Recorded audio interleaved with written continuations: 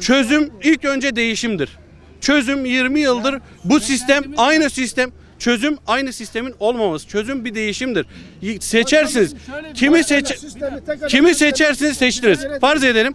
Farz edelim. Kimi seçerseniz seçtiniz. Geldi altılı masayı seçtiniz. Kardeşim beğenmediğiniz zaman orada zaten altı farklı görüşte insanlar var. Erken seçime de gider değiştirebilirsiniz. Kendiniz için çocuklarınızın geleceğini düşünerek gidin oyunuzu verin. Düşünseniz böyle olmazdı kardeşim yani bugün. Tek adam sistemi İstanbul'da değişmediği bulunmayan sürece bir lider mi kurtaracak? Al- yani? O mu altadan biri kurtaracak? Ya lider bakın bakın. Liyakatla e, adam çalıştıracağım, liyakatla işte eleman alacağım diyen adam 10 seçim kaybetmiş. Bu adam 10 seçim kaybeden Ne adam güzel mı diyorsunuz. kurtaracak? Yani? Peki depremde depremde neredeydi dediği zaman bu devlet neden tehdit ediyor insanlar? Neredeydi bu insanlar peki? Kendisi liyakatla durmayan adam. Bakın, bak, bak, Bakın ben o tarafta kimseyi savunmuyorum. Şu daha iyi, bu daha iyi demiyoruz. Bakın şu daha iyi, bu daha iyi demiyoruz. Burada bir çarpık düzen var. Paraların nereye aktı, nereye gitti? Bakın siz kendiniz de evet diyorsunuz. Var bir yerlere bir şeye gidiyor. Bu düzenin önce bozulması lazım. Ben demiyorum gidin şuraya verin. Şu daha iyi, bu daha iyi. İmamoğlu daha iyiymiş. Mansur daha iyiymiş. Kılıçdaroğlu daha iyiymiş demiyoruz. Öncelikle bir düzenin bozulması lazım. Değişim şart. Değişim şart bu ülke. Bu tarafta değişim şart 7 tabii tane parti var. Hüdapar var? AK Parti var, MHP var, Refah Partisi var, ben Büyük Birlik Partisi var. Onlar da 6 parti kardeşim. Doğru. Bunu düşünemiyor musunuz? Göremiyor musunuz yani? Onlar yedili masa. İslam'ın şartı bir. Yedili masa aynı şey. Orada bir adamın idare burada bir kafa bakın. Bir kafa seçmişler. Aynı şey. Evet. Bakışı siz sadece buraya gelince farklı bakıyorsunuz, oraya gelince farklı bakıyorsunuz. Aynen 20 senedir ne oldu? 20 Ya- senedir ne oldu? 20 senedir aşağıya gidiyoruz. Yukarı gitmiyoruz yani. Bunu Ya ben mesela yani insanlar ama. 2007'de iş yerinden emekli oldum. Ben o da şey derkeydim bir çeyrek altın 30 TL'ydi. Şu anda çeyrek altın ne kadar? Benim aldığım maaşla ben 10 tane çeyrek alabiliyorum mu? Alamıyorum yani. Bakın He? insanlar analiz bilmiyor. Tek bir Abi kişi kaç sadece, girişlisin bir kişi sen? yani. Sigorta girişin kaç? Bunu insanlar düşünemiyor ki yani. 74. 74. Bakın 74 ile 2000 arasına %70 emeklilik payı veriyor. 100 bin yatırdıysan 70 bin lira. 2000 ile 2008 arasına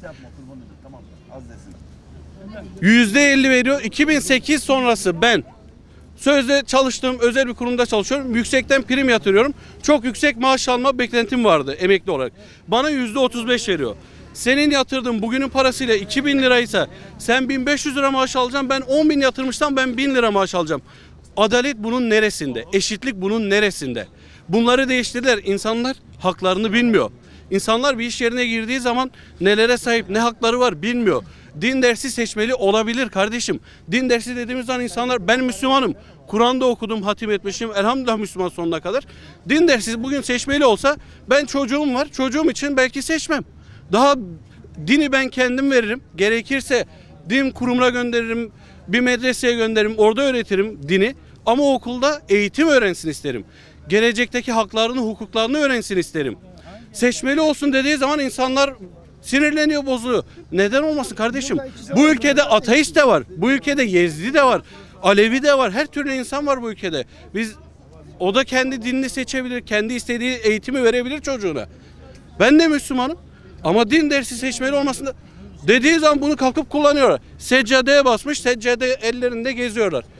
Olabilir kardeşim insanız herkes hata yapabilir. Bu seccadeye bastı onun günahını sana sormayacak. Bana sormayacak onun günahını ona soracak. Kur'an'ı eline alıp gezenlere sormuyor musun? O Kur'an öyle taşınmaz. Kur'an'la siyaset yapılmaz. Bunu sormuyorsunuz ama. Bir yerde bir şey söylense tepki gösterirsin. Orada da kutsal diğerine bir kardeşim, hareket yapılır. Oldu da bu neden namaz bilmiyor musun? Herkes milli değerlerine sahip çıkıyor. camide ayakkabıyla namaz kılıyor? Olmadı işte ha. Oha! Ayakkabı ayakkabı kılıyor mu? Oha! Yanlışlıkla Allah Allah! Yanlışlıkla. Sizinki yanlışlıkla bizimki Bak bunu Öyle Diyanet'e sor. Bak bunu Diyanet'e sor. Secde bir Ya bırak elbise ya. gibidir. Elbiseni kirletsen namaz olmaz. Olmaz. Biliyor musun? Peki O da onu- Diyanet'e sor diyorsunuz. Diyanet İşleri Bakanı sor. Müslüman mısın abi sen? Ben Allah elhamdülillah Müslümanım. Elhamdülillah. Ama Peygamber Efendimiz sallallahu aleyhi ve sellemin doğum tarihini söyler misin bana? Son sana tam 1071. Burada camide çıkıp insanlar geliyor. Ateist birini getir belki biliyordur ama birçoğunuz bilmiyorsunuzdur. 1071 değil abicim. Bunu araştırın, öğrenin. Bunu da aynı şekilde. Diyanet İşleri Bakanı çıkıyor depremde bir tane çocuk almış kucağına. O kucağına almış diye bir saniye bir saniye diyorlar ki Allah dedi diyor ondan sonra diyor bütün çocuklar sayenizde çıktı. Diyanet İşleri Bakanı sayesinde mi çıktı o çocuklar enkazın altında? Ne alakası var? Seccadeye bastı onun günahını sana sormayacak bana sormayacak. Onun günahını da ona soracak. Dinimize göre elbisen kirli olsa namaz kılamazsın. O da basmış, yanlışlıkla basmış. Teşekkür ederim. Ekonomiyi soruyorum abla, ekonomiyi soruyorum. Nasıl gözlemliyoruz? Geçinebiliyor muyuz? Vallahi oğlum hiç sorma berbat. Emekliyim ben. Nasıl emekli ay sonunu getirebiliyor mu? Mümkün mü? Ay ortasını Dalga mı geçiyorsun benimle? var mı abla ya? O kadar tabii. Kira var mı? Kiram yok Allah'a Bir de şükür. kira olsa bir 15 bin lira. Mümkün değil. Allah fakire yani emekli maaşı olmayana Allah yardım etsin. Amin abla. Hükümet yardım eder mi? Eder mi? Yok. İnşallah artık Erdoğan gider. 20 seneden beri yetti artık. İnşallah Kılıçdaroğlu gelir. O da bilmiyorum nasıl olacak. Pek anlamam ama herhalde iyi olur inşallah. Yapamazsa onu da değiştiririz abla. Yani Bizim elimizde. bu 20 seneden beri aynı aynı olmaz ki. Biraz değişiklik olsun. Gençler gelsin. Hep aynı adam olmaz. Şimdi bir tutturmuşlar Erdoğan, Erdoğan.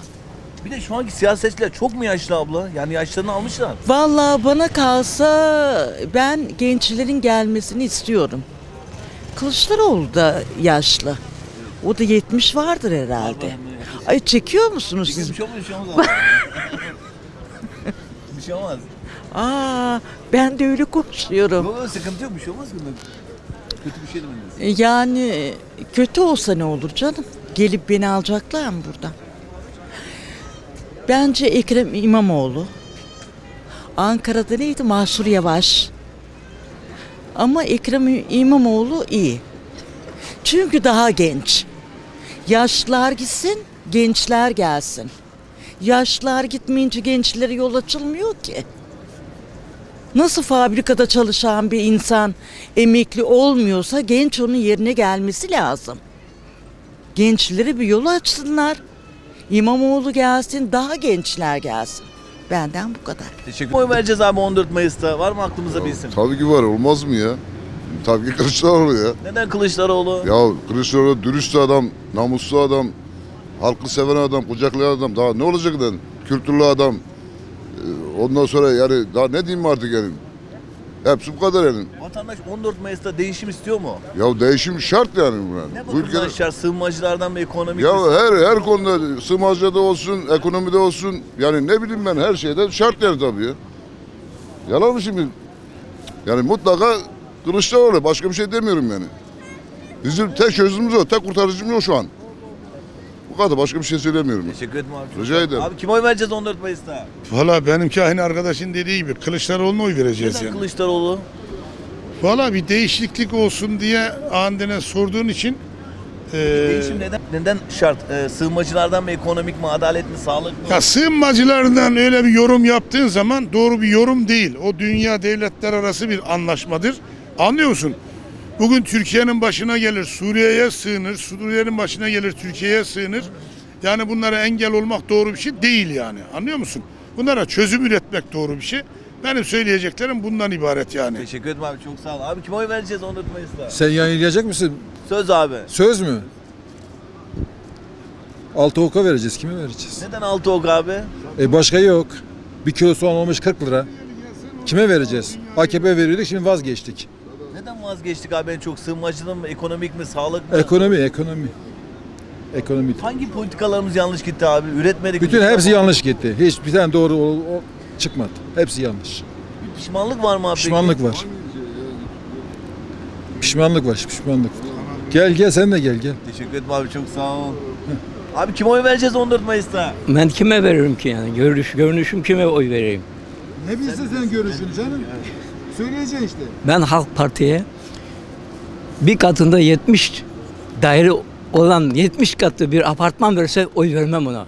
Neden abi AK Parti'ye? AK Parti benim değerlerimi değer vermiyor ki o. O bir maşadır. Darlan, dar, darılsın benim görüşüm. He, o bir maşadır. Tayyip Erdoğan'dan başka hiç parti ben göremiyorum. Ama ondan daha iyisi gelirse ona oy veririm.